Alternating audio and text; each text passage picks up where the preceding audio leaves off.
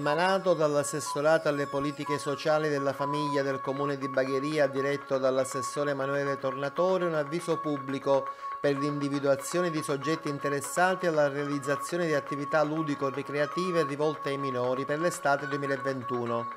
Gli interessati che attiveranno i servizi saranno tenuti a seguire le linee guida per la gestione in sicurezza dell'emergenza Covid-19 Possono presentare domanda enti del terzo settore, enti pubblici e privati e altri soggetti che perseguono finalità educative, ricreative, sportive, socioculturali a favore dei minori. I soggetti interessati dovranno elaborare proposte di attività che possono riguardare diversi ambiti educativi. Il gestore dell'attività deve redigere uno specifico progetto tramite un format allegato all'avviso. Le domande vanno inviate via PEC entro le ore 10 del 20 luglio. Ha avuto inizio ieri pomeriggio un corso per assaggiatori di olio che si conclude oggi a Villa Favazzi di Corso Butere a Bagheria. L'iniziativa è stata organizzata dall'Associazione La Piana d'Oro insieme alla condotta Slow Food di Bagheria e con il patrocinio dell'Assemblea regionale siciliana. Le lezioni sono tenute dal professore Franco Saccà della condotta Slow Food di Trapani, tecnico esperto nel mondo dell'olio, assaggiatore professionista e profondo conoscitore degli oli extravergine d'oliva siciliani.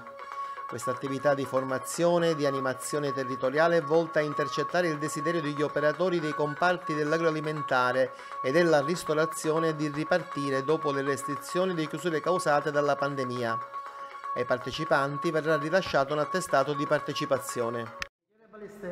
La Piana d'Oro si rende protagonista di un'altra iniziativa notevole qui a Bagheria, questo corso per assaggiatori d'olio. Sì, lo facciamo insieme alla condotta Slow Food di Bagheria e l'obiettivo si riconduce a cercare di intanto valorizzare uno dei prodotti tipici del nostro territorio, soprattutto elevare il livello di conoscenza e consapevolezza della qualità di questo prodotto da parte anche dei consumatori.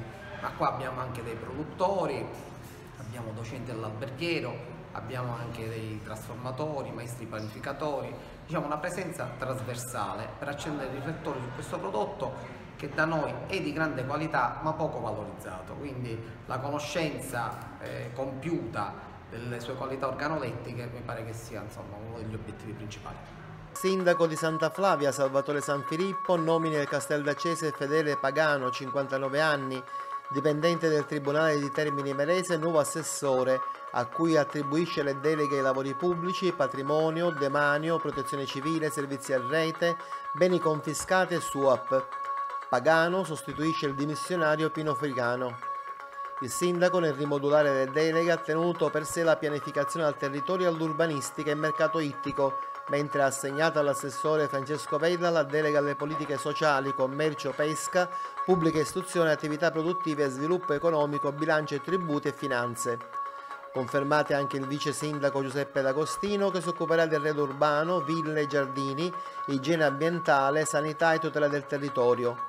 Maddalena Venturi di turismo, sport e spettacolo, pari opportunità, polizia municipale, mobilità e sicurezza pubblica e Antoniella Cavezzano di affari istituzionali, personale, politiche energetiche, ambientali, innovazione tecnologica, digitalizzazione, programmazione comunitaria, cultura e beni culturali. L'amministrazione comunale di Ficarazzi prevede agevolazioni della tassataria a favore delle famiglie che versano in condizioni di disagio economico risultante dalla certificazione ISEE per l'anno 2020, pari o inferiore a 7.000 euro. L'agevolazione consiste nella riduzione della parte variabile della Tari. La quota della riduzione scaturirà tenendo conto del numero delle utenze interessate e del minor gettito. Saranno interessate dagli sgravi le utenze non domestiche che, seppur non interessate da provvedimenti di sospensione o limitazione di attività, abbiano subito, a causa dell'emergenza sanitaria Covid, una riduzione del fatturato nel 2020 di almeno il 30% rispetto all'anno precedente.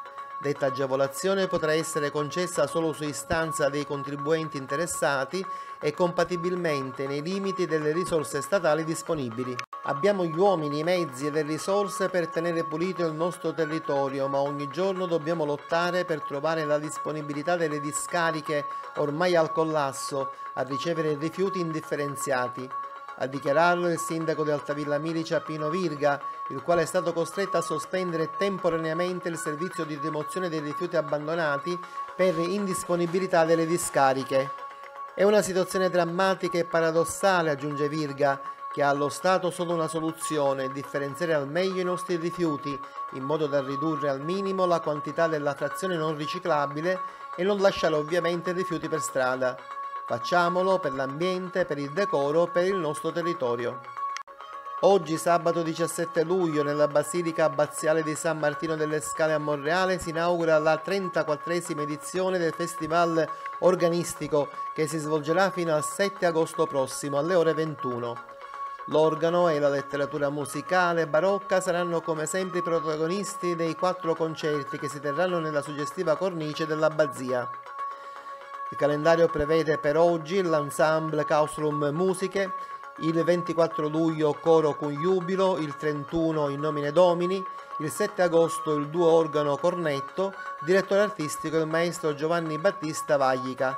L'ingresso è libero sino ad esaurimento dei posti. È obbligatorio l'uso della mascherina.